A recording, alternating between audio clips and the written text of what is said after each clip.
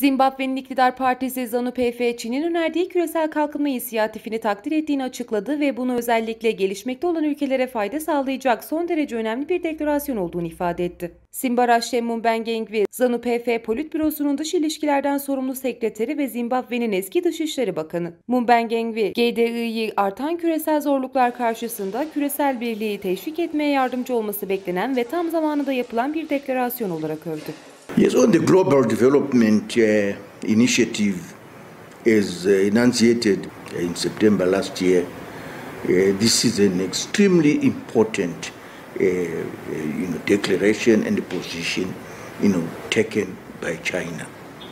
That in the face of all these challenges that we have referred to in the new era, uh, a global approach is required we have to look at these challenges you know, globally so that uh, the challenges are faced collectively, so that the benefits are shared collectively. Our own president, Comrade E.D. Mnangagwa, you know, has said we should aim here in Zimbabwe to develop all parts of the country leaving no place and no person behind.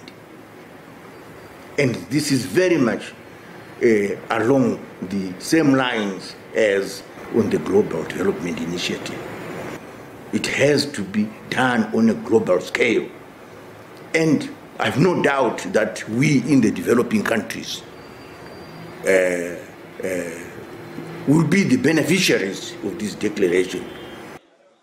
No other country has contributed to the development of the uh, uh, African continent as China has done, both bilaterally and within the FOCAC framework.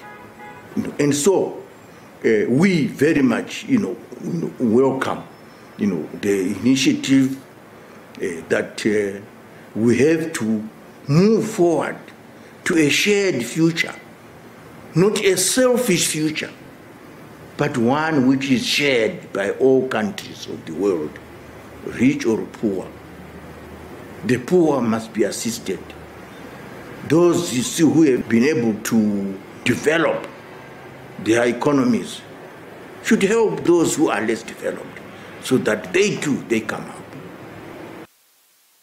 So as we move forward, we are extremely confident that our relationship with the Communist Party of China and the government of China is going to deepen to enable us to achieve the targets that we have set for ourselves for the year 2030 on the economic front. The beautiful aspect of China's transformation is that China has not been selfish to enjoy the benefits of the creativity of the Communist Party of China by themselves. They have shared their experiences with all the developing countries. We in ZANU PF have benefited tremendously from China's willingness to share their experiences with us. We in Zimbabwe, in ZANU PF, in Africa, are extremely grateful you know, for this gesture of solidarity, this gesture of sharing, you know, this gesture of identifying a common interest for all humanity.